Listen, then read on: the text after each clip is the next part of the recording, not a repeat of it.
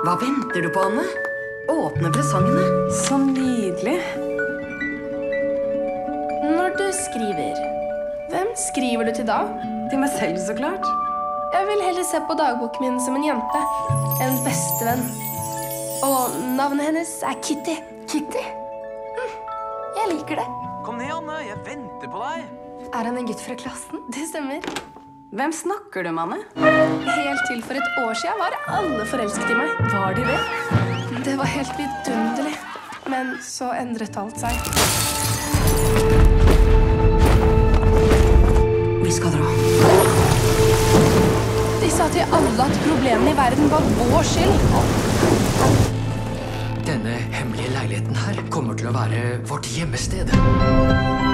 For hver eneste som får bo på skjulestedet vårt, har vi sjansen til å redde et liv.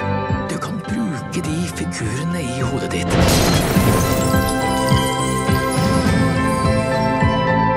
Få dem til å kjempe din krig på et vis.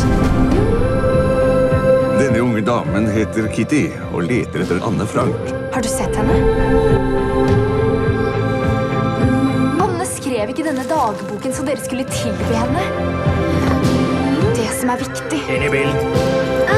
er å gjøre alt du kan for å redde en eneste sjel fra fare. Bare én sjel. Hva ser du, Peter? Jeg ser de allierte styrkene. De kommer for å sette oss fri. Hva ser du, da? Jeg ser mange engler